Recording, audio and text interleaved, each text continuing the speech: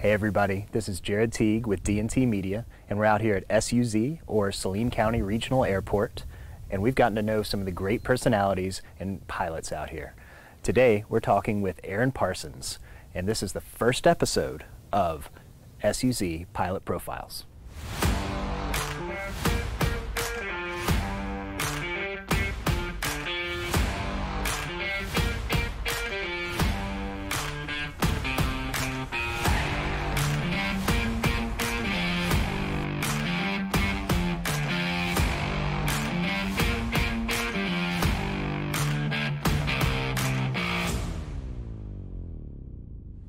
Hi, everybody. My name is Aaron Parsons. I live here in Benton, Arkansas. I'm the owner of this 2009 Flight Design CTLS. I'm going to give you a quick uh, breakdown and rundown of it today. So, to give you a little bit of history of me, um, I grew up, I was born in California area, um, ended up in the Marine Corps, served active duty in the Marine Corps, reserve in the Marine Corps. Moved back to Arkansas in 2010. I started my pilot training in 2009, 2008, 2009 in Southern California, Los Angeles, Orange County area.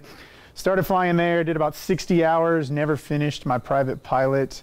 Uh, that was due to, actually I stopped when I moved back to Arkansas. So took a long hiatus from that. And in 2018, I started training again. What got me training and started again getting my private pilot certificate was uh, I became a drone pilot, Part 107 drone pilot for my job uh, in law enforcement. I got back into the drone training, started doing the testing and flying of the drone, and the aviation bug just bit me again. I wanted to get back into it, so luckily I, I was able to, and I was in a point in my life where I was able to. So got back into it, joined the Central Arkansas Flighting Club here in at KSUZ, and uh, now we're, we're here with my airplane. What we have is my 2009 Flight Design CTLS. I bought this in Cottonwood, Arizona, or Phoenix, Arizona. Um, it's just north of, of Phoenix, Cottonwood is.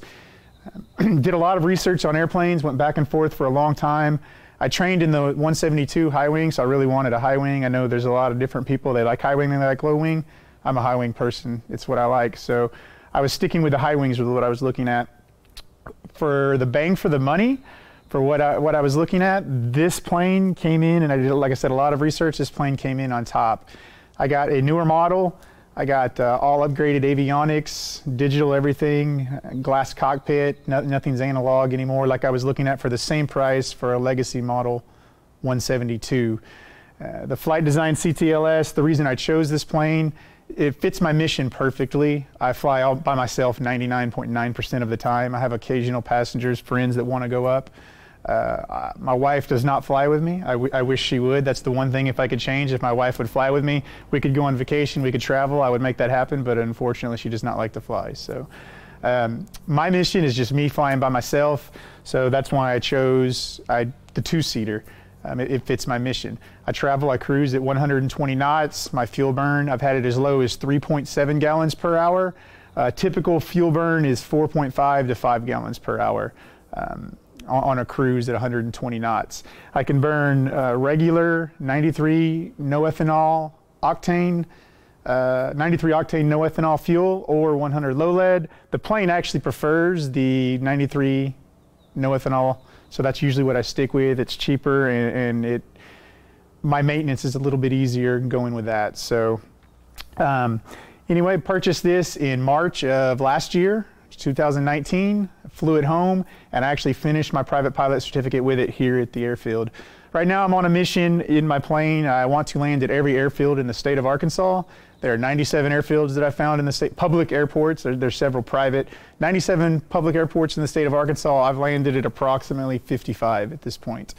I will tell you that KSUZ here in Saline County is a hidden gem. Um, of those 55 something that I've been to in Arkansas alone, plus the ones in the other states I've landed at, this airport is a, is a top-notch airport. I'll get into the engine on, on my flight design CTLS. It's equipped with a 100 horsepower Rotax engine. Um, that's what gives me my 120 knot cruise.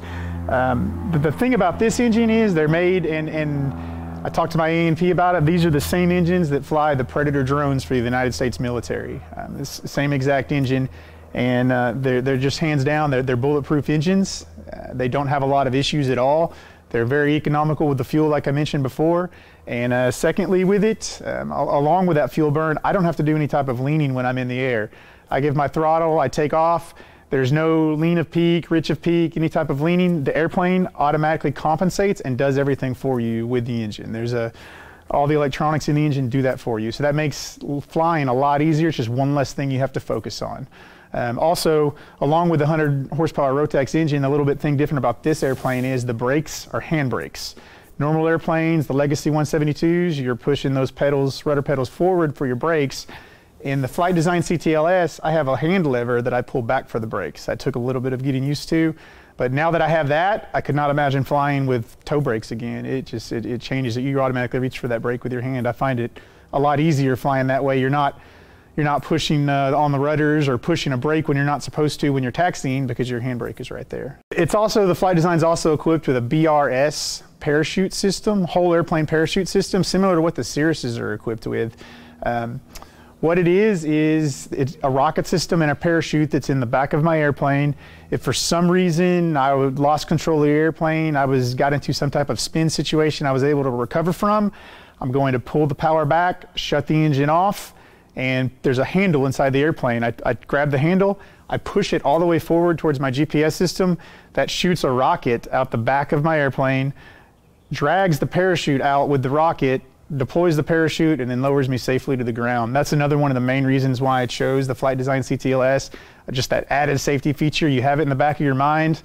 You know, if you lose your engine, um, you can a lot of the times glide safely down, have a place to land. But if you're flying in the middle of the night in southern Arkansas and there's nothing but pine trees and you can't see because it's pitch dark and you don't know where you're going to land anyway, just to have that safety in the back of my mind, knowing worst case scenario, I can pull this parachute and be drift to the ground.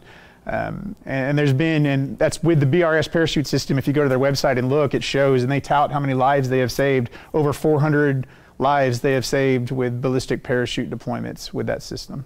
Here, here at Saline County Airport, when I started flying again, doing my flight training, I was flying in the Central Arkansas Flight Club airplanes at the time. I had not purchased my flight design yet. I was in the market looking for an airplane, so I knew I was going to, to purchase one. So I went to the airport manager, Dane Pruitt, here at the airport, and and went ahead and got on the list to get a hangar. I, I knew that the airplane was coming. I wanted to put the cart in front of the horse and, and get the hangar started because type of person I am, I do not want my airplane sitting on the ramp. I do not want my airplane out in the elements. Um, it's just safer and better to have it hangared. So I had a concept in my mind what I wanted to do with my hangar. I wanted to make it a hangout man cave area. I wanted to be able to come to my hangar and when I'm at the airport, enjoy myself. When I go flying, if my wife wanted to hang out in the hangar, I wanted it to be comfortable for her. That was real big for me. She doesn't, unfortunately, she does not like to fly with me. So I wanted her to have the comforts of home at the hangar with everything she had at home refrigerator, food, TV, microwave, everything she could possibly have to, to have the comforts of home where she could have a nice place to hang out in the hangar while I was out flying and vice versa for my flight planning. I wanted to be able to come to my hangar and do my flight planning in comfort. It just sets you up for the flight when you're in a nice, comfortable, uh, regulated environment doing your flight planning. You're comfortable and ready for your flight when it gets started. I located a company in Stuttgart that dismantles aircraft that have been um, retired from major airlines, and they sell off the airline. They sell off the pieces to other airlines that are in need of of the parts. So I contacted that company because I knew I had the thought in my mind of what I wanted to do with my hangar. And I'm a big Southwest, I fly Southwest everywhere I go. So contacted them. I found one of the old 737s that they were parting out there on the airfield. And I purchased everything I thought would be really cool and comfortable for my hangar from there. So I purchased two rows of seats from the Southwest 737. I had them actually cut a side of the fuselage off over the emergency exit and over the wing and I brought that into my hangar. Came up with some lighting ideas just to make it some some to put it in my hangar, just as a conversation piece for my hangar. Um, I also purchased a 767 captain's chair from a Hawaiian Airlines. Uh, 767 that I use in front of my Pac-Man machine. That's my chair that I sit in when I play Pac-Man, uh, flying Hawaiian Airlines captain's chair. At my entrance is where I set up my workstation and my desk in order to do my flight planning for my flights. I also made sure I brought in all my manuals, all my maintenance history to my airplane. I keep it right here, readily accessible in the hangar for me, so I have it. Also, just some reference materials and documentation, FAR AIM and whatnot that I have in the hangar. In case I need to research something or look something up, I always have it.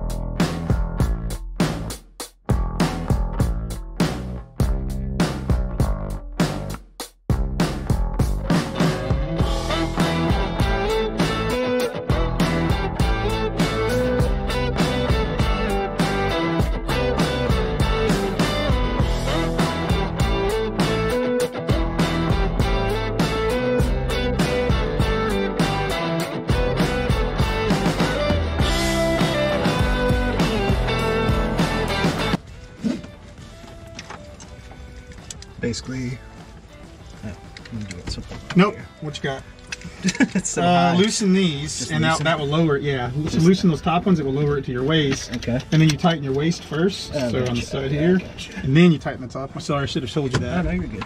Because in I a looked car, at- you don't have I looked four over and I was points. like, yeah, this isn't, Yeah. this isn't right. You're not going to touch the rudder pedal, so just relax. Everything you need to do. So What's this Um, button do?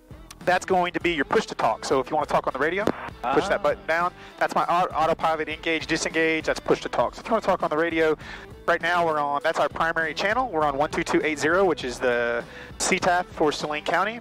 And that's our main channel. If I wanted to flip channels, 132.12 is our weather. I just press that button. It goes. That makes it our primary. Uh-huh. Beautiful thing about this Garmin SL30 ComNav radio is I'm on 12280. That's my primary channel. I could monitor 132.12 and hear it. But if someone talks on 1280, it's going to stop that because that's my primary channel, and I'll hear that instead of that. So I can monitor one channel and have another primary. All right, we're going to taxi over to run up. Brake's good. That was me checking the brake. The brakes are working fine. I'm at 120, so I can do my run up now.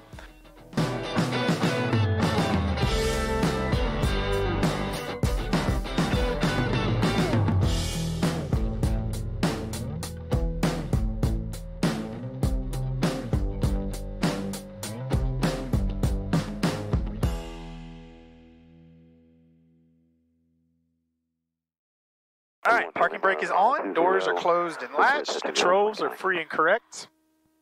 Oil temp is above 120. We're at 142. I'm to throttle to 4,000. What I'm doing in my run up is I'm watching my RPM. I'm going to get up to 4,000. I'm checking my gauges to make sure everything is in the green and stays in the green and looks good. This is going to be our, one of our last chances before we take off to make sure my engine is running properly, which it is. I'm at 4,000 RPM. My uh, ING's good, temp's good, PSI's good, volts, everything's good. Right now I'm burning 5.5 gallons an hour, or 4.7 gallons an hour. That's my fuel PSI, which is pressure, fuel pressure, which is good and in the green. EGTs, exhaust gas temperatures are good, cylinder head temperatures, everything's good in the green. It's a beautiful thing about these avionics is I can see everything and I just see that it's in the green, I know that it's good. Also, if something's not in the green, my engine alarm lights are going to come on and that's going to notify me. So if I, for some reason I'm not paying attention like I'm supposed to, those are going to come on, start flashing, and start making a real loud beeping noise in your in your ear to let you know, hey, something's wrong. So, all right, uh, County traffic, uh, Barrett 43 Del Valle. alarm lights are off. Right, we're going to do a mag check and right runway 20. on less than a 300 drop, which is good, and left. A 300 drop, both are good. I'm going to do a carb heat check. That's that carb heat I talked to you about. I'm going to see a drop in my RPM, meaning it's putting warm air into my carburetor. That way, if we came into an icing condition, it would melt that ice. So we know warm air is in there. When you put that warm air in, you get an automatic drop in your RPM. Take that carb heat out. You're going to watch. You're to see that carb, that RPM is going to go back up. So and there it goes. All right, so carb heat's working, and we're going to throttle to idle.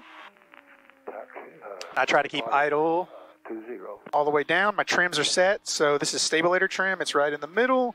Got aileron trim and rudder trim. Everything's in the middle. The BRS uh, parachute safety pin is out. All right. All right, um, we're going to go ahead and taxi to takeoff, and then I'll do one more last briefing with you there, and then we'll do our takeoff.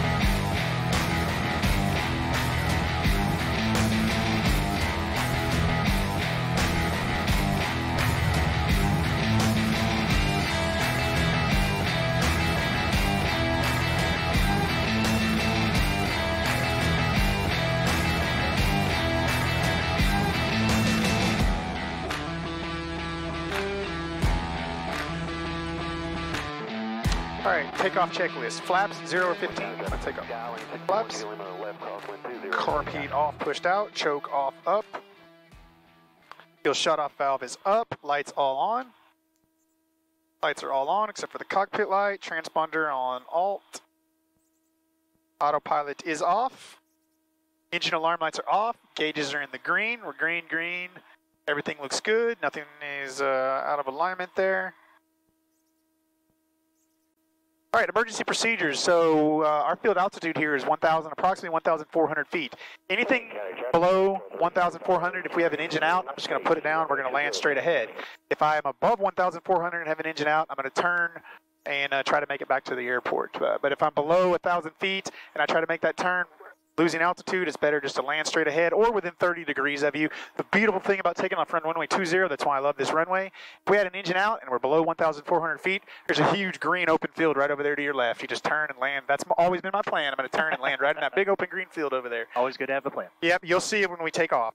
All right, final's clear. Last thing I'm going to do is line up. I am confirmed I'm on runway 20. I'm going to make sure my compass lines up with runway 20 here, Saline County traffic, Skyline 621. which it does. We're good to go there. All right, All flaps 15, power. Here we go. I'm going to go full power, a little bit of right rudder. Gauges are in the green. We have full power. Everything looks good. I'm watching my airspeed. Airspeed's alive. Pressure low. That fuel pressure low sensor is fine. That's normal on takeoff. Okay. I should have warned you about that That's all right. beforehand. So we are off. Charlie is uh, about 10 miles to the south. And I'll explain that to you here in a moment. Uh, Let me do some flying here, and then we'll explain that to you. Saline County traffic, Flight Design 234 Zulu, 1,000 climbing to 3,500, departing to the south. Last call, Saline County.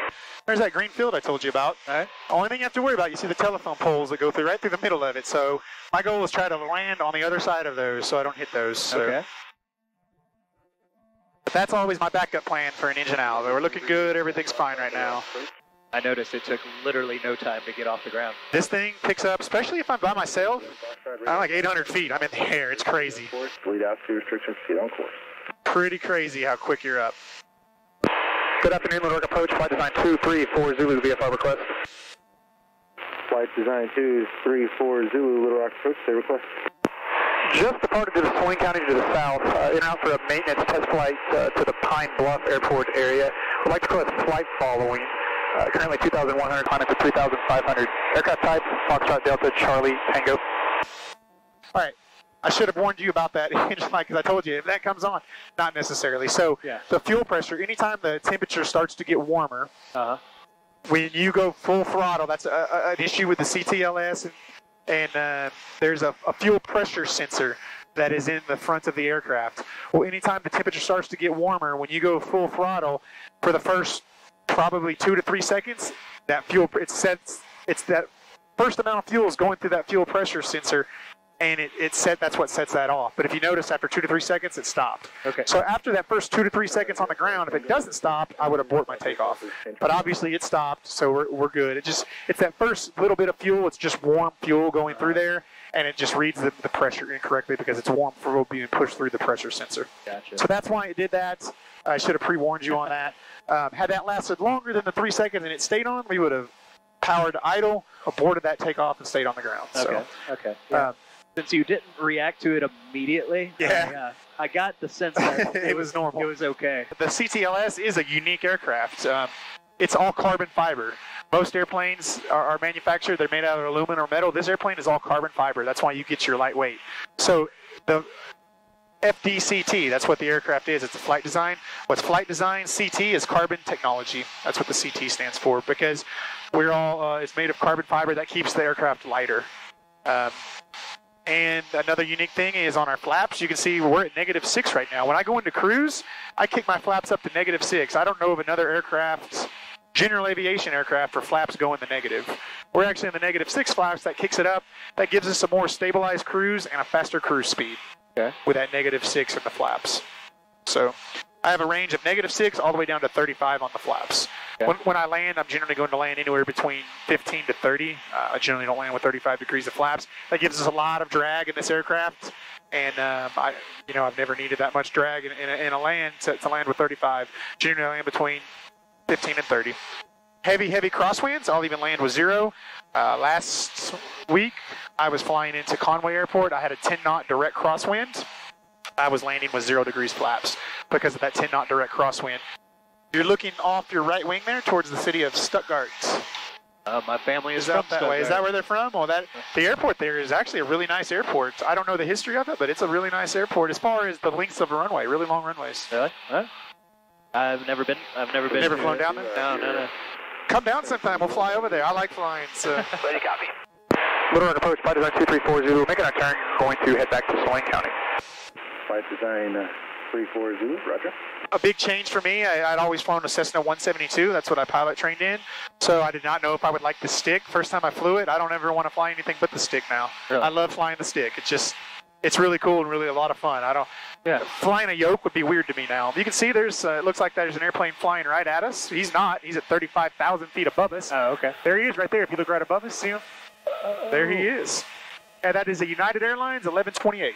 Okay. So that's a United Airlines. Oh, little sunroof. Yeah, yeah. so and that's uh, I I have 360 views in this airplane. yeah, I've that's got the windows behind me, in front of me, to my side. I've got a lot of lot of viewing in this window. So, but now we're burning 4.4 gallons per hour, uh, 34 gallons, 17 gallons in each tank. Uh, that shows our fuel computer. That shows how many gallons we have left. That shows gallons we've used in flight. So the total amount we've been flying right now, we've used three gallons of fuel. Um, if you look up here, you see these little gauges here, and it looks kind of yellow. That's the actual fuel you see. That's that's a backup. So say we lost everything. We lost our our digital instruments. Our back our backup went down. It's also a way just to double check this. I can look up there, and I can see how many gallons of fuel we have left. We're going to go ahead and make our call when we're about 10 miles out. And I'm going to let Little Rock Approach know I have the field in sight, which I can see the field right off to our about 11 o'clock at Saline County Airport. I've been there so many times, I know right where it's at. Okay. Six, five miles, final, five, hot spring stress. I still can't see it. It's about 11 o'clock. Oh, okay. You'll you'll see it as we get closer. Oh, I do. I see it. All right. I've been there. You just you. This local area I know so well just from Yeah. flying in it so much. So Saline County traffic, flight design 234 Zulus, 10 miles southeast, inbound, uh, left 45, runway 20, Saline County. the airport is straight off our nose. If you see the big green field, that's the field, my Uh-huh. emergency field I talked about landing in. The airport's Uh-huh. right to the right of it, in front of it. If you see it, Okay. Yeah. that's Saline County. We're going to come in at a left 45, enter the pattern, and uh, do our do our pattern that way. okay. Saline County traffic, flight design 234 Zulu, 5 miles to the east, southeast, inbound for a midfield, left 45, 20, looking for traffic in pattern, Saline County. We're watching for you, sir. 6213 Lima, Lane County. That double tap, he just said he'd be watching for us. That double tap on the mic, that just means you copied, you hear what he said. Understood. That's basically it. Understood. it means you heard him and understood. It's like a carb heat out. Power's good. Flaps good. Lane County traffic. Altitude looks good. Lima, clear all runways, Lane County. Saline County traffic, 234 Zulu, turning left base, 20, Saline County. So if we have to do a go around, uh, you'll see me just reaching up, turning carb heat out, adding full power. We're going to leave 15 degrees of flaps in. We'll just take off and do the pattern one more time if we have to. If I if I'm not happy coming down, or I feel like I'm floating, or it might be a hard landing or something, I always go around. Safety first. Go around. Try it again. Saline County traffic, 234 Zulu, turning final, 20, Saline County. Power out. We're uh, right where we want to be. VASIs look good. We've got two white and two red.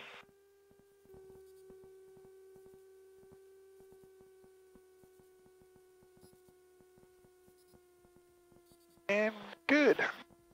Very That's nice. Negative six. We're going to try to go off right here. Also have the extra weight in here. It makes the landings a lot. Honestly, this, especially with this aircraft, the more weight you have, the easier the landings are. Okay. So when I have more weight, my landings are just you don't. When I say easier, you don't float as much. Yeah, yeah, yeah. Well, glad I could be of help. Yeah. So bug in here. Uh, can't- Let's do this. Let's get some air anyway. Open this door up. Get him out of here. Well, we really enjoyed flying with Aaron today in his CTLS flight design. We hope you enjoyed watching too. If you did, give us a like and a subscribe, and check us out on Facebook and Instagram. From all of us at D&T Media and SUZ, we'll see you next time and safe flying.